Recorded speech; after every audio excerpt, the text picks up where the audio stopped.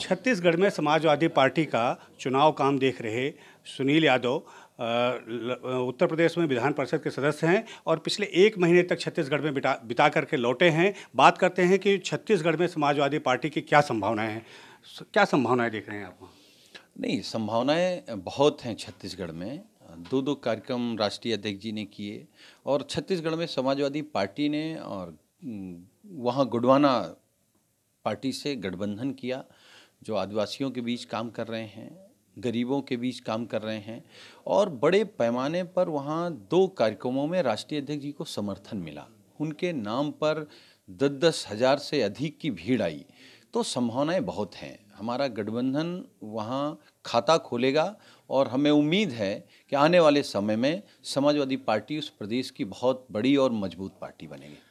आपके राष्ट्रीय अध्यक्ष की बात आपने की तो वहाँ उन्होंने, कांग्रेस को वहाँ से उन्होंने एक धमकी दी कि कांग्रेस का हाथ हटा देंगे हम साइकिल से। नहीं, कांग्रेस को धमकी नहीं दी। उन्होंने उससे पहले एक बात कही कि कांग्रेस के लोगों में जो कन्फ्यूज़न है या घमंड आ गया, क्योंकि समाजवादी पार्टी के राष्ट्रीय अध्यक्ष जी पूरी पार्टी ये चाहती थी कि जिस तरीके से महागठबंधन को लेकर के इस देश में माहौल बना था और उस महागठबंधन की शुरुआत माननीय अखिलेश यादव जी ने की। उत्तर प्रदेश से चार चार चुनाव हराए, मुख्यमंत्री हराया उप मुख्यमंत्री को हराया, कैराना, नूरपुर हराया।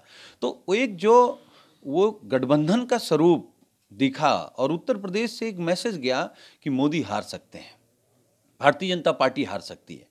तो समाजवादी पार्टी चाहती थी, मध्य प्रदेश, छत्तीसगढ़, राजस्थान में सब लोग मिल करके लड़ें। और वो जो जनादेश आएगा, वो जनादेश संकेत होगा 2019 के जनादेश का।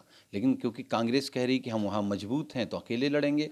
तो राष्ट्रीय अध्यक्ष जी ने ये कहा कि कांग्रेस जब भी अपने आप को कमज़ोर महसूस करेगी तो उसके सबसे नज़दीक अगर कोई उनको मिलेगा तो समाजवादी लोग मिलेंगे। लेकिन अगर कांग्रेस घमंड में आ जाए कि नहीं, जहाँ हम मज़बूत हैं, वहाँ हम अकेले लड़ेंगे तो उत्तर प्रदेश में फिर सपा बसपा भी मज़बूत है। यही दो लोग मिल करके और कोई छोटे दल मिल करके हम लोग अस्सी में से पचहत्तर सीटें जीत सकते हैं, फिर हमें कांग्रेस की क्यों ज़रूरत पड़ेगी? तो ये कांग्रेस को समझना है कि कांग्रेस की क्या भूमिका है। मध्य प्रदेश आज आप जा रहे हैं शाम को और आपके राष्ट्रीय अध्यक्ष वहाँ जा चुके हैं। आज यहाँ नेताजी का जन्मदिन था। मध्य प्रदेश का चुनाव ज़्यादा महत्वपूर्ण लग रहा है क्योंकि वहाँ पर वो इस कार्यक्रम में शामिल हुए बगैर चले गए हैं। क्या संभावनाएँ रहेंगी मध्य प्रदेश नहीं माननीय राष्ट्रीय अध्यक्ष जी, नेताजी से आशीर्वाद लेकर के, नेताजी को बधाई दे करके और नेताजी की अनुमति से, क्योंकि आज मध्य प्रदेश में राष्ट्रीय अध्यक्ष जी के कार्यक्रम लगे हैं तो नेताजी से आशीर्वाद लेकर के गए हैं। और नेताजी ने जो आशीर्वाद दिया है मैं ये कह सकता हूँ कि मध्य प्रदेश की सरकार बिना समाजवादी पार्टी के नहीं बनेगी।